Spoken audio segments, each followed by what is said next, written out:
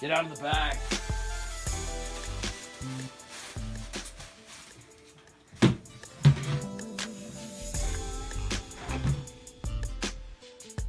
You, uh, you know, you, you know what you killed back there? I don't even care what it is. It was a Bornean orangutan. What even is it? Do, do you know all the stuff about it, or did you just not care? The species is named Pongo pygmaeus.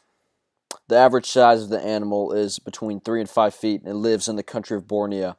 It reproduces one child after a pregnancy period of 245 days. Its preferred habitat is in the canopies of trees. The habitat that this orangutan prefers is a dense forest with many fruit bearing trees. In Borneo, no large predators threaten it on the ground and it is free to roam as it likes. Orangutans play a key role in seed dispersal and have been known to eat over 500 different types of fruit.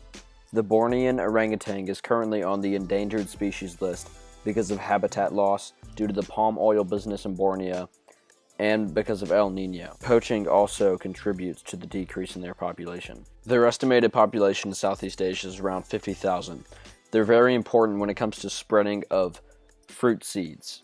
They consume more than 500 different fruits.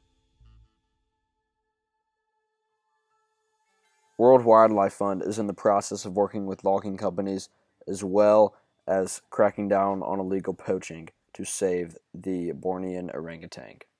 Guess I just didn't know any about about any of that stuff. Shut up, you're lying. All right, yeah, I just didn't care. Well, I guess that's the end of you. Ow!